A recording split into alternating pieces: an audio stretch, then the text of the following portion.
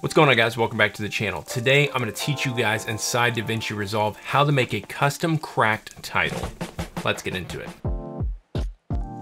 There's many reasons you would need a custom title. Well, today I'm gonna be teaching you guys how to do that inside DaVinci Resolve. So without further ado, let's hop in and get going. So first things first, you're going to need a Fusion composition. I'm gonna drag that inside my timeline. It is five seconds long. If you would like it longer, you can make it longer.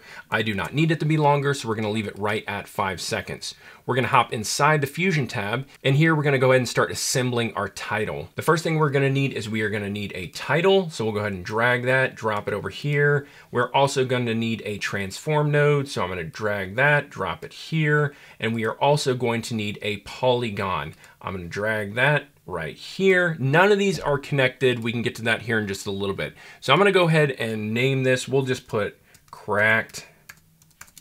That should be fine.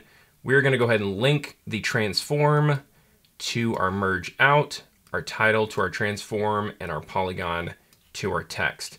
Now you can see this goes away. You can either invert this and take it off for a little bit, or you could just unlink it. It really doesn't matter to you. I normally just unlink it while I'm actually messing with the title. So I'm just gonna change the title to something that I think looks good. And I am going to go ahead and size it up a little bit, just like that. Maybe just the tracking just a little bit. Now I'm gonna click on the polygon. Instead of linking it, I'm gonna go ahead and just draw on it and we can link it in a bit. So I'm just going to go ahead and just do somewhat of a crack through here, a little bit of a jagged line. You could do a straight line, you could do however you wanted. It really just depends on your creativity. We're just gonna go around just like that, create a circle-ish thing around it, go ahead and link it, and now you can see we only have the bottom half. You can see how that would be a little complicated if it was already linked to your title, which is why I leave it unlinked and then just draw it and relink it. The next thing we're gonna do is duplicate these three. Uh, but before I do that, I want to add a merge. I'm gonna grab that, holding shift and the mouse at the same time, dropping it in. And then I am gonna click on these three, Command C on a Mac, Command V to paste it.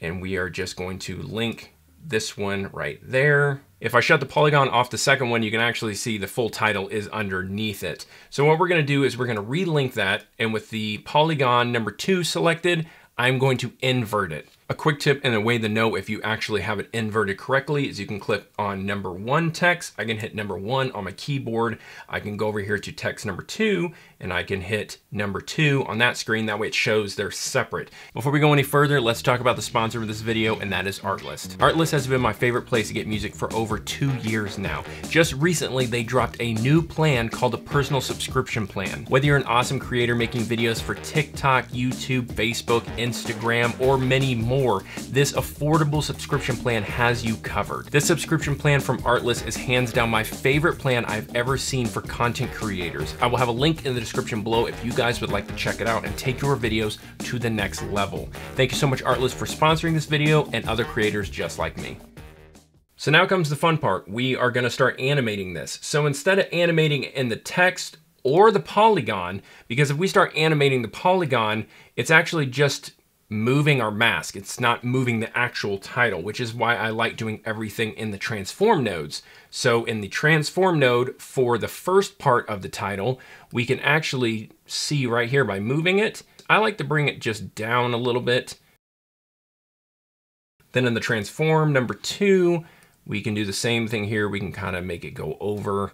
We can bring it up if we'd like. You could really exaggerate this if you want. I will tell you, the more minimal you are, it looks better. It seems the smaller you do it has more of an impact. Now this is where the fun part starts. You could actually go into each title if you want and start tweaking them. Like let's go into the shading of text number two. We could actually do an outline if we wanted that. I think that looks cool. Uh, I don't really feel like it looks good for this specific video. Uh, uh, you could actually go back into the text and you could change the font to something else. The problem is, is it's not gonna be the same size and you're really gonna have to start spacing it out. So we're just gonna leave it back the way it was. I do like going in here though and sometimes changing it to a color. So maybe there's a branding opportunity for doing red and green. I feel like that's Christmas, but you know, maybe that's what your video's for. Now we're gonna start animating the text, which is super simple. We're gonna go and transform transform number one.